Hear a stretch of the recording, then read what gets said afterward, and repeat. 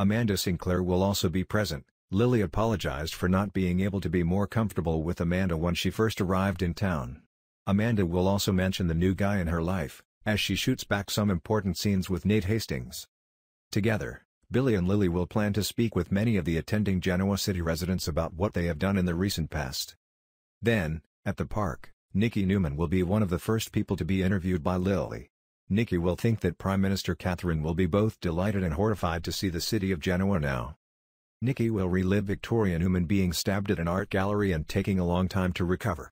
Next, Lily will talk to Nick Newman, recalling how powerful Sharon Newman fights cancer and how Rey Rosales is her foundation.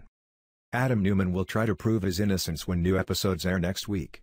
He refused to believe his father's story about Kansas, thinking instead that Victor Newman was defending himself by trying to blame Viewers believe, based on the implied flashback scenes shown when the latest episodes aired in late April, that Victor is telling the truth.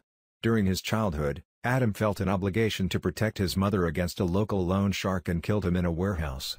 Hope Wilson called Victor, he flew to the farm and deftly dealt with the consequences. The trailer shows Jack Abbott giving Victor some undesirable advice. Parents' words of wisdom may have something to do with Adam, although with these seasoned warhorses anyone would have guessed. It would be reasonable to believe that Adam would call on Jack for help as the plot continued. Hardcore fans recount that Jack and Adam have been close for many years. But their coalition sank into mutual distrust of Victor, leading to many wrong decisions over the years.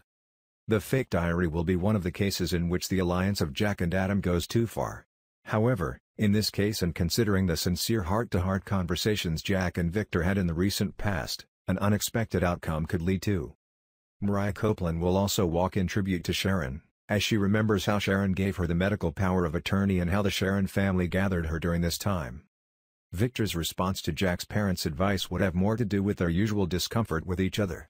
But it is possible that both men's interest in Adam's welfare has led to the Kansas and Nevada problem being resolved permanently. Check out the fascinating details on our channel.